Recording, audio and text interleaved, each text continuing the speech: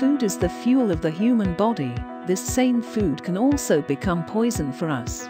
If food safety and hygiene are not maintained, it can turn lethal as harmful bacteria can enter the body with the contaminated food. Don't worry, you can follow a few techniques to ensure safe food for your clients or your loved ones. Stay till the end of the video to learn these life-saving tips.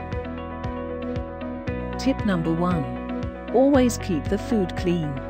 Keeping your food clean is the basic criteria of food safety. Microbes spread to the food through physical contact, so keeping your hands and cooking utensils clean is a way to keep your food clean. Use a clean surface for preparing and chopping food. Washing dishcloths, tea towels, and aprons frequently at high temperatures will help you maintain food safety and keep your food clean. Tip number 2. Store raw and cooked food separately.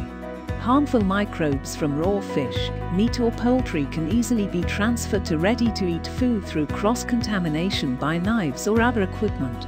That's why it is crucial to store them separately and use separate utensils while handling the raw and cooked foods. Tip number 3. Cook and heat food thoroughly. Cooking food at the core temperature of at least 70 degrees centigrade for 2 minutes will kill most of the illness-causing microbes in the food. Cook or heat your food to temperatures until piping hot throughout. Tip number 4. Store food properly You can store food in the refrigerator to slow down the growth of harmful microbes. However, you can't store all kinds of food. To safely store bread, dry foods, and unopened tins and jars. Tip number 5. Good food waste management. Proper food waste management is crucial as pests and vermins will be attracted by the food waste and it can develop dangerous bacteria. Poor food waste management can cause many safety hazards like growing natural toxins in food.